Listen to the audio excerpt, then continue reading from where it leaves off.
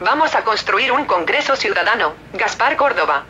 En la nueva legislatura, debemos transitar por la ruta de las iniciativas ciudadanas, pugnar por el referéndum, impulsar el plebiscito, tener candidaturas ciudadanas, lograr la revocación del mandato y darle garantías a la ciudadanía de que habrá mejores gobiernos, mejorando la calidad de los colaboradores del Ejecutivo.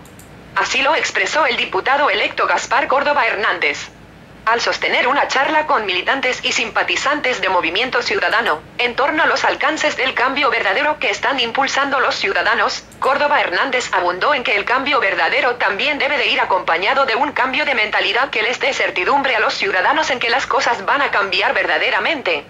Todo esto, precisó el dirigente de Movimiento Ciudadano, ayuda a que si mejoramos la gobernabilidad de Tabasco, podremos generar más acuerdos entre esta pluralidad en la que estamos inmersos y al lograr más acuerdos, e ir sobre la ruta que todos queremos más crecimiento económico, más empleos, más seguridad pública, vamos a generar la estabilidad que tanto necesitamos. De esto se trata el cambio verdadero, precisó Gaspar Córdoba. Por eso es importante que no se estimule ni aliente el encono y los enfrentamientos.